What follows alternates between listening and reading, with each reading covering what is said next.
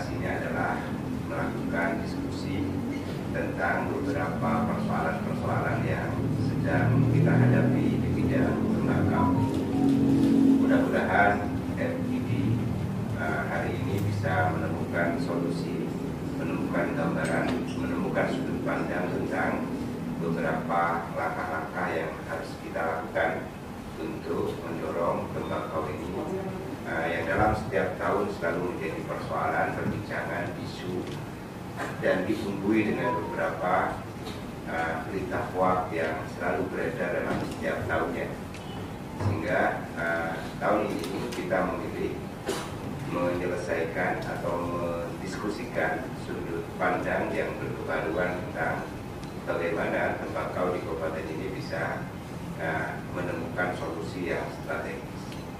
Yang keseluruhannya itu adalah untuk memberikan kesejahteraan, memberikan kepastian, memberikan gambaran yang utuh tentang kebijakan, cara, strategi yang akan kita lakukan untuk membela para petani. Itu yang pertama. Yang kedua, setelah bersyukur, tentu saya uh, apa, uh, menyampaikan terima kasih dan mudah-mudahan selawat dan salam senantiasa tercurahkan kepada junjungan kita Nabi besar Muhammad SAW. Dan karena kecintaan kita dan syukur kita kecintaan kita kepada Nabi Muhammad dan syukur kita kepada Allah mudah-mudahan uh, kesejahteraan, kemakmuran dan pengabdian yang kita lakukan bisa bernilai ibadah. Bapak Ibu hadirin yang saya hormati. Yang ketiga, uh, saya memulai dari uh, persoalan tembakau hampir uh, 10 tahun terakhir.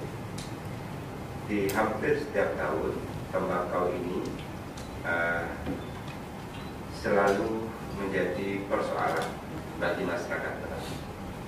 Kenapa? Karena uh, tidak seimbangnya antara jumlah tembakau dengan daya beli pabrikan. Di samping juga banyak persoalan-persoalan lain.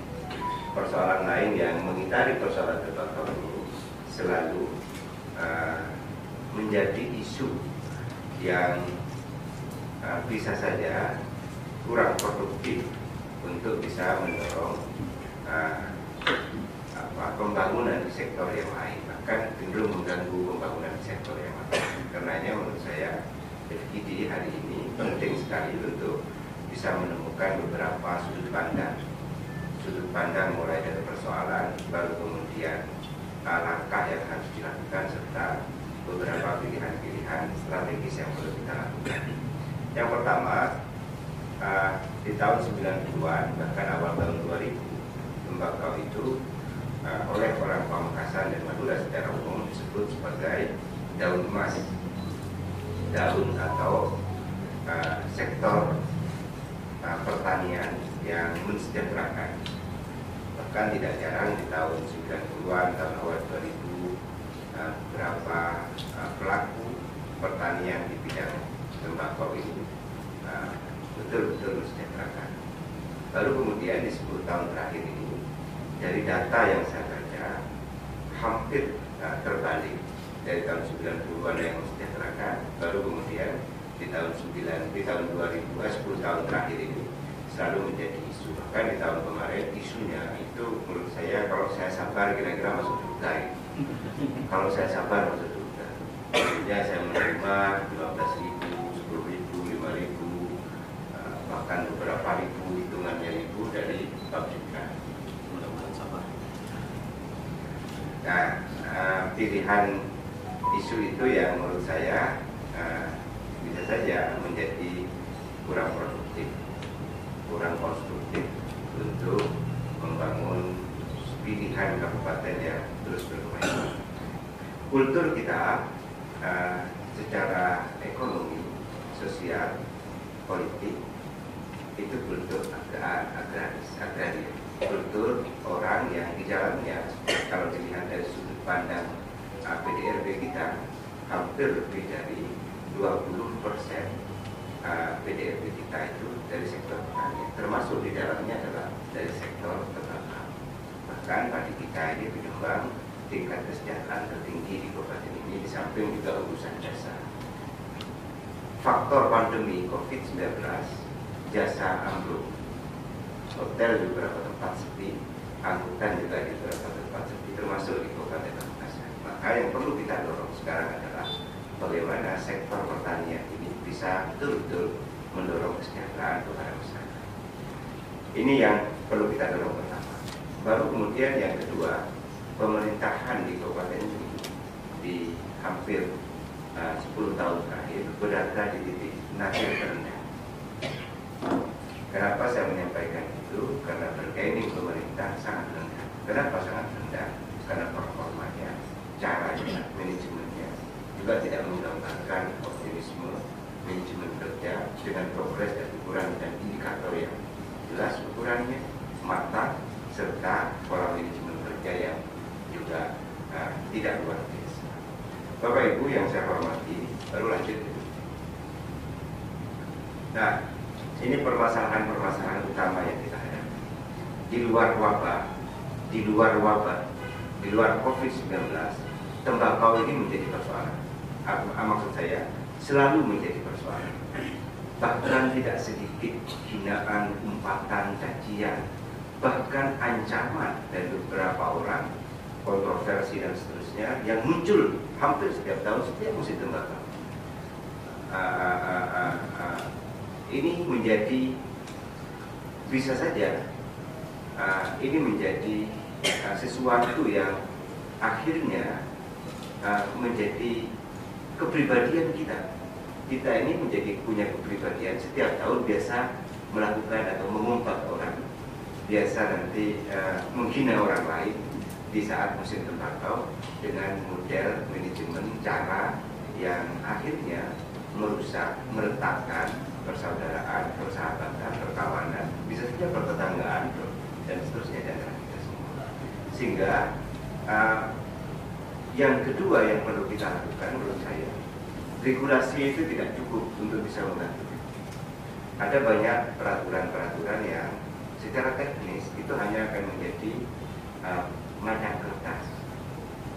Macam kertas itu maksud saya uh, ya sekedar menjadi aturan, sekedar menjadi regulasi, sekedar menjadi tetapi tidak operasional. Maka menurut saya yang perlu kemudian kita lakukan dihitung betul di antara kita semuanya ini yang pertama adalah uh, luas lahan pertanian di bidang tembakau baru kemudian kebutuhan Nah di samping itu perlu kemudian menyusun beberapa langkah-langkah dari persoalan yang.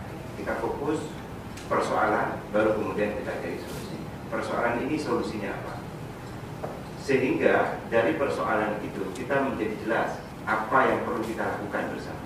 Sehingga persoalan tembakau ini ya bukan persoalan bupati saja bukan hanya persoalan uh, uh, ketua DPR dan anggota DPRD saja. Tetapi ini menjadi persoalan bersama dan kita harus hadapi bersama-sama. Karena kalau kemudian ini hanya menjadi persoalan yang bupati maka titik tumpu persoalannya kepada bupati saja. Kalau ini menjadi persoalan regulasi misalnya yang dibahas oleh teman-teman DPR seakan-akan ini menjadi persoalan DPR padahal ini juga menjadi persoalan seluruh elemen masyarakat di Kabupaten Pamekasan yang berharap banyak akan adanya kesejahteraan dari uh, tembakau. Itu yang kedua, yang ketiga yang saya sampaikan. Baru kemudian uh, cukai tembakau yang meningkat ini juga menjadi persoalan kita. Baru kemudian yang kedua uh, cuaca ini cuaca ini menurut saya uh, bisa baik bisa tidak baik, tetapi ini faktor alam ini tidak usah terlalu banyak dibahas karena faktor alam Kenapa faktor alam tidak bisa dibahas? Karena kalaupun musim hujan yang jelek, kita semua mengambil kebijakan itu pada atas. baru kemudian yang ketiga perlu ada beberapa strategi karena nanti yang setara dengan uh, uh, uh, saya kemarin di awal-awal memimpin kabupaten ini melakukan beberapa komunikasi ke semua stakeholder tidak lewat pintu samping tetapi saya lewat pintu tamu berkomunikasi dengan Kemenko Pak Amin Nasution untuk kemudian mendorong kesejahteraan melalui sektor pertanian dan investasi. Berkomunikasi bukan langsung dengan beberapa uh, owner perusahaan-perusahaan yang bisa menciptakan lapangan pekerjaan di kabupaten ini. Ada 16.000 sekian orang menganggur di ada ada 16 persen kemiskinan kabupaten Baru kemudian ada sekitar 13.000 pengangguran di kabupaten ini. Termasuk di dalamnya ada sekitar 16 per 6, 6 persen, eh, 16 persen kemiskinan di kabupaten dari jumlah masyarakat. Sehingga kita perlu beberapa cara strategi yang di dalamnya adalah bagaimana kita menurunkan kemiskinan, bagaimana kita menciptakan lapangan pekerjaan, bagaimana kita men bisa mendorong daya beli. Nah, sebagian dari cara atau mm, bisa atau strategi mendorong uh, daya beli masyarakat adalah dengan bagaimana tembakau rakyat itu bisa terjual dengan harga yang pantas, tidak murah, dan melebihi dari DIP yang dikeluarkan. Baru kemudian saya menyusun beberapa pilihan strategi di antaranya yang sudah kita diskusikan bersama kemungkinan koordinator untuk bisa mendorong biaya produksi masyarakat. Lanjut. Nah, ini data yang kita miliki uh, dari tahun 2015 kenapa kita tidak menunjukkan data dari 10 tahun terakhir? Nah, sungguh di 2000 yang disampaikan oleh siapa? Mas Mas Hendra barusan di 2016 anjlok betul. Karena uh, apa uh, daya beli atau pembelian dari pabrikan sangat banyak sekali hampir pabrikan kita di 2016 itu hanya 1.250 ton. Sementara di 2018 uh, itu semakin meningkat, di 2017 meningkat sekali, baru kemudian di 2019 uh, 18.000 sekian. Lanjut. Ini juga realisasi serapan tersangkau. Nah, yang luar biasa agak sangat tinggi di antara tahun 2015 sampai tahun 2018 itu tertinggi sampai 16 dai dari sekian data sudah garam apa jarum betul jo no no nyorono itu nah yang kemarin itu dari 16 anjlok ke 1, Nah, ini nanti kita diskusikan persoalan-persoalan lanjut. Ini perbandingan neraca sama dengan yang tadi. Lanjut. Pembelian masing-masing lanjut lanjut. Nah, Bapak Ibu eh, yang terhormat Ketua DPRD, pimpinan komisi dan seluruh anggota DPRD yang hadir, para eh, pegiat eh, tembakau, pemerhati, teman-teman NGO, wartawan yang sama. Di sinilah sebagian dari sesuatu yang harus kita pikirkan bersama tentang uh, beberapa kemungkinan. Sementara orang itu kalau sudah kadung berharap, misalnya saya mencintai Mas Sabto, kalau kadung berharap mencintai Mas Sabto, terus kemudian salipan saja Mas Sabto tidak nyapa bisa baper. Itu bisa saja baper itu bisa menjadi persoalan ya.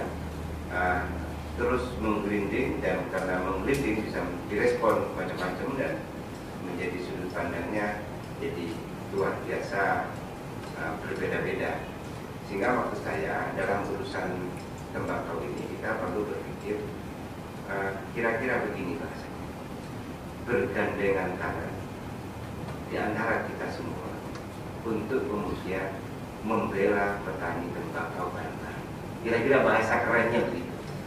Bergandengan tangan. Ayo kita ini semuanya, ayo bareng-bareng kita Bismillah dan nawaitunya itu untuk um, membela petani tembakau dengan tanpa ditumpangi oleh kepentingan praktis yang bisa meletakkan hubungan di antara kita Artinya pamekasan ini bukan milik saya, pamekasan milik kita.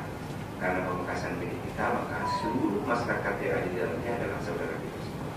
Sehingga uh, perlu disusun bersama-sama tentang bagaimana di antara kita semua ini betul-betul bisa bersama-sama dengan konsep yang bisa mendorong kesejahteraan kebangunan untuk seluruh petani di Kabupaten Pamekasan dengan fondasi fondasinya itu membela dan membela masyarakat dengan bergandengan tangan. Nah, ini uh, ini terlalu jauh, jadi nggak kelihatan. Nah, kelihatan jelas ya. Nah, simulasi perubahan permintaan terhadap perubahan harga yang berkeseimbangan. Nah, ini di di setiap tahun ini sudah ada peningkatan sehingga kemudian ini yang perlu kita diskusikan. FGD ini akan kita bawa pada forum-forum yang lain.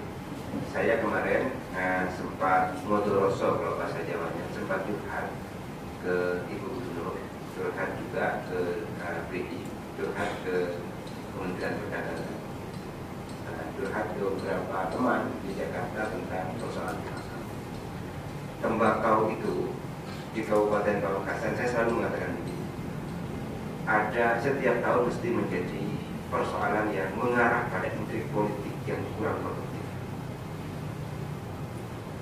Saya mohon bantuan Pak Menteri, mohon bantuan Pak Gubernur juga Matur saya juga menyampaikan, ayo saya ini dibantu bagaimana caranya, strateginya, komunikasinya, biar kemudian uh, petani kita di tembakau ini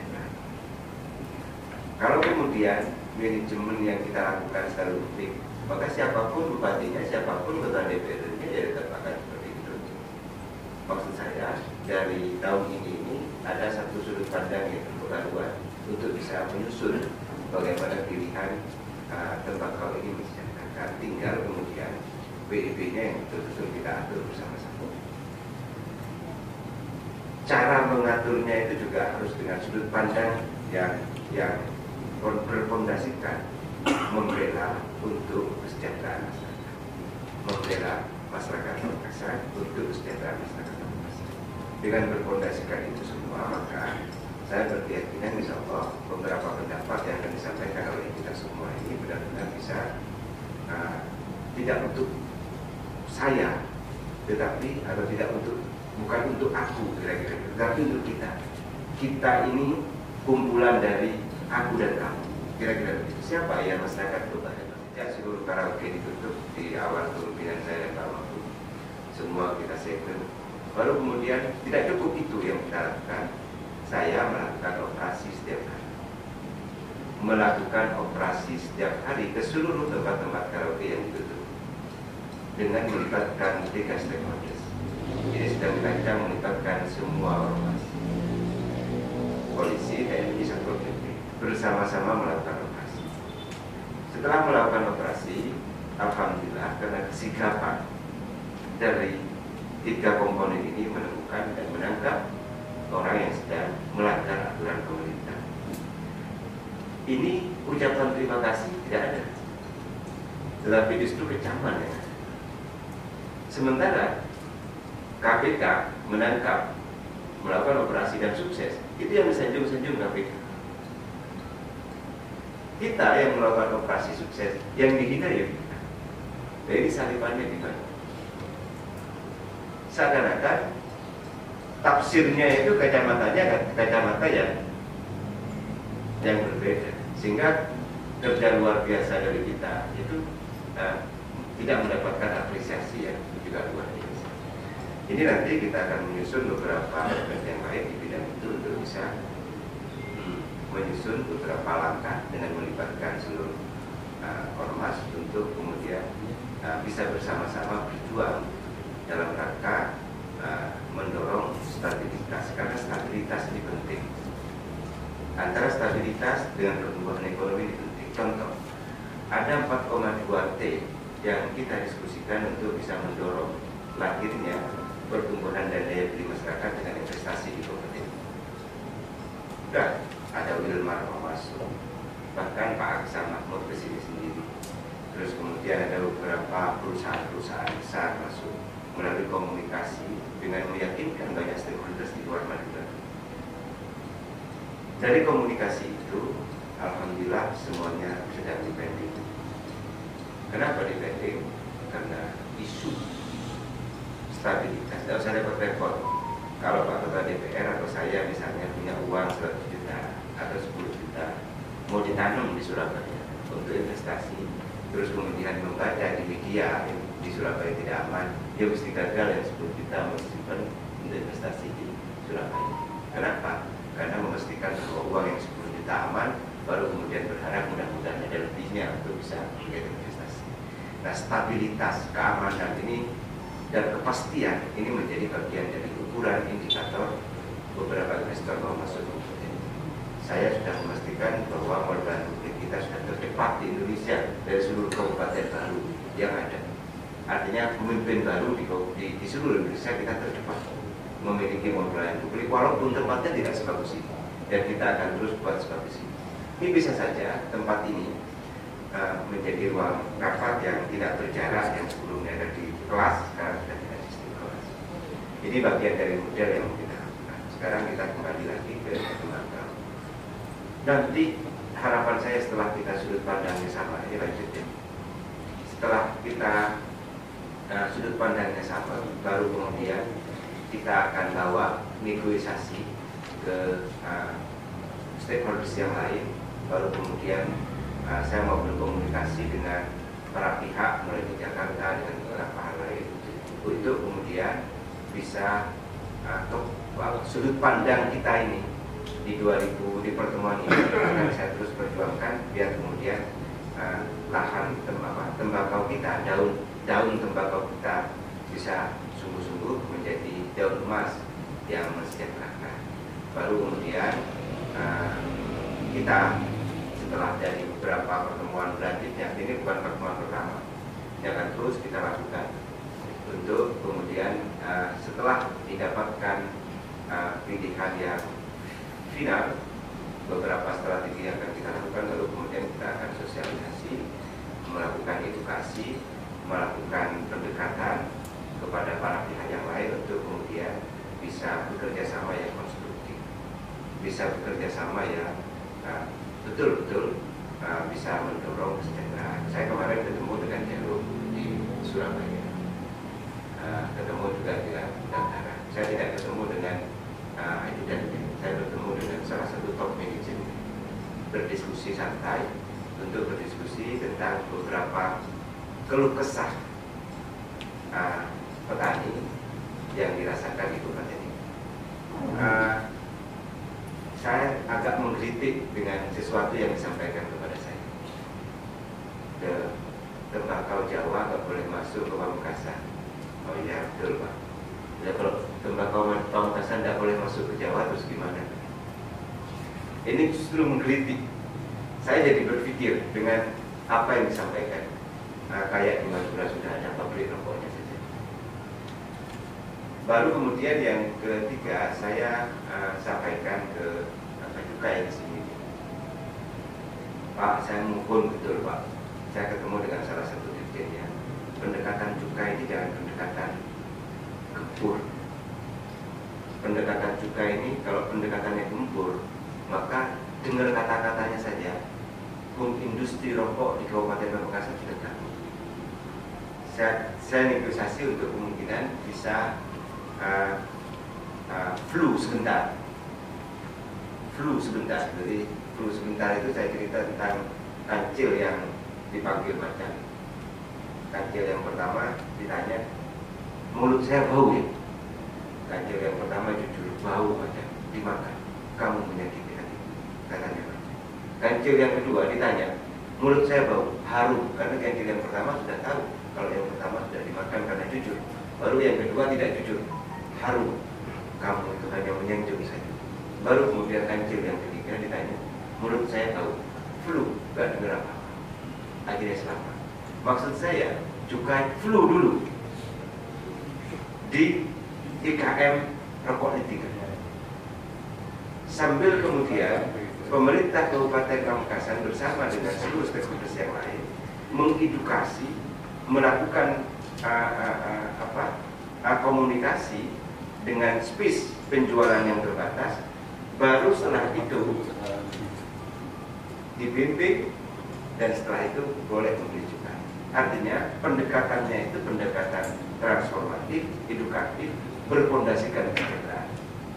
Karena pada akhirnya kalau kemudian IKM, UMKM, rumahan, lintingan ini bisa hidup, ya pada akhirnya akan juga untuk bisa mengembangkan industri rokoknya di rumahan.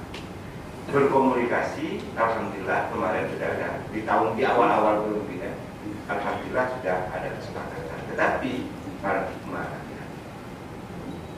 paradigma. Makanya uh, yang perlu pertama kali dilakukan oleh kita ini bukan paradigma sesuai dengan pasal ini, pasal ini. Karena sama dengan COVID, kalau semua pasal dulu yang dibahas, kalau di luar sudah diisukan bahwa takut dikoronakan, akhirnya pasal menjadi nomor bukan nomor dua. Maka di beberapa negara yang berkemajuan itu pasal itu, aturan itu sebagai penyeimbang sebagai penyeimbang dari atmosfer sosiologis yang ada di beberapa negara yang berbeda. Bukan pendekatannya pasal, sementara yang dibaca yang yang mendengar pasalnya, ya gak paham pasal itu apa. Maka yang paling penting adalah bagi kita uh, komunikasi baru kemudian pasal kita ikutkan. Maksudnya peraturan-peraturan itu kita ikutkan di dalamnya untuk kemudian bisa mengikat komitmen. Karena kalau kemudian uh, pasal yang kita tanpa kemudian ada pertemuan hati dan pikiran yang sama tentang ber, yang berfondasikan kesejahteraan untuk petani, maka pasal itu pasti akan dilabrak akan kita tidak tahu. Nah, untuk kemudian bisa menuju ketaatan bersama, maka perlu ada edukasi, sosialisasi, yang dari edukasi dan sosialisasi itu bisa menumbuhkan semangat uh, bagaimana tembakau kita ini bisa betul-betul disejahterakan untuk seluruh petani di kabupaten ini? Kalaupun semakin mahal di 2020 bukan karena perjuangan bupati dan ketua DPR tetapi karena perjuangan bersama kita semua.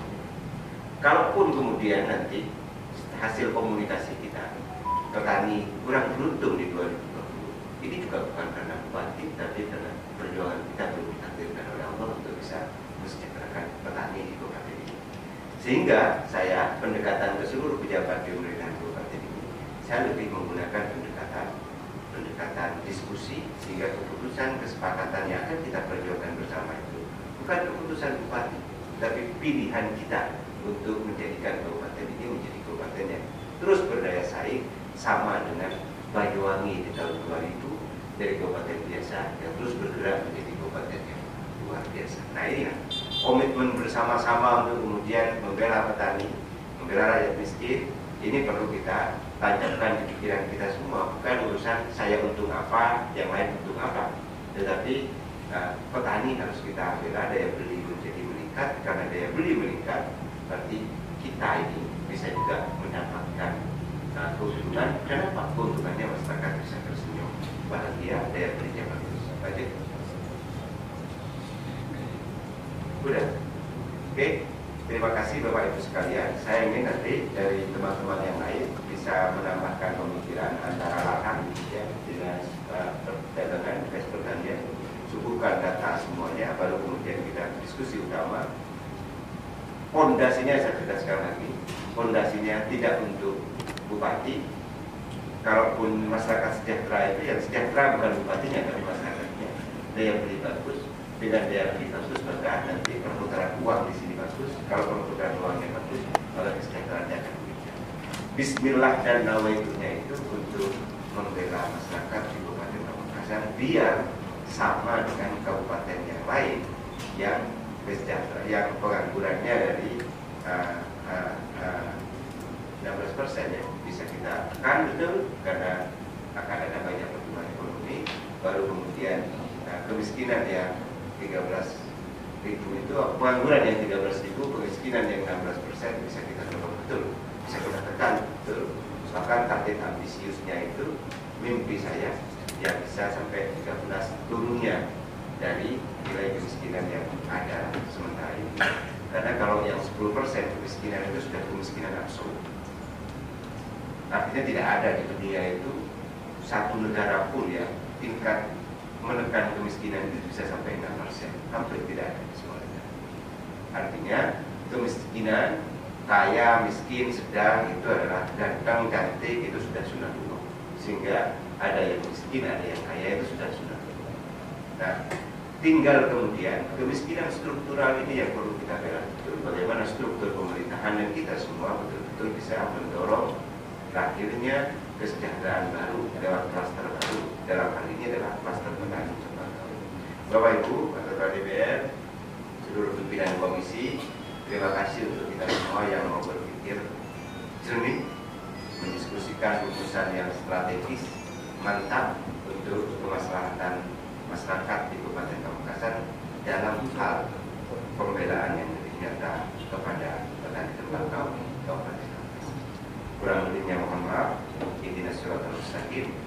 Wassalamualaikum warahmatullahi wabarakatuh. FGD itu fokus diskusi grup berdiskusi dari semua sudut pandang sudut pandangnya pemuda, sudut pandang petani, sudut pandang uh, teman-teman KTNA, sudut pandang uh, pabrikan, sudut pandang pemerintah baru kemudian dari semua sudut pandang itu kita rumuskan menjadi langkah pemerintah termasuk di dalamnya kemungkinan uh, melakukan revisi perda tentang tembakau di uh, Kabupaten Pamekasan itu yang pertama. Yang kedua, pemerintah berkomitmen saya Pak Wabu berkomitmen untuk kemudian melakukan pembelaan yang nyata kepada petani di Kabupaten Pamekasan dalam hal ini petani tembakau.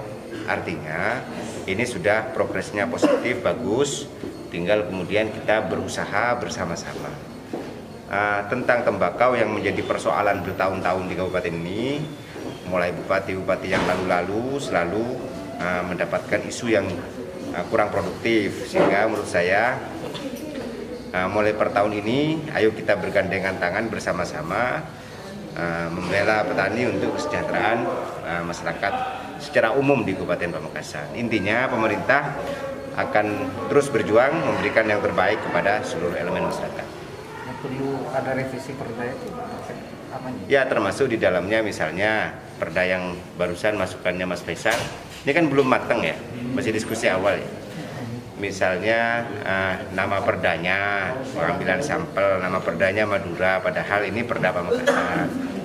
Terus kemudian uh, kita perlu sama-sama uh, memberikan perlindungan kepada petani, kepada pedagang, kepada seluruh elemen yang lain. Gitu ya. Semua pendapat barusan akan kita rumuskan, baru kemudian kita akan lakukan diskusi berikutnya sampai matang betul baru uh, menjadi keputusan. Oke okay, ya. Terima kasih semuanya ya. Mas Sigit.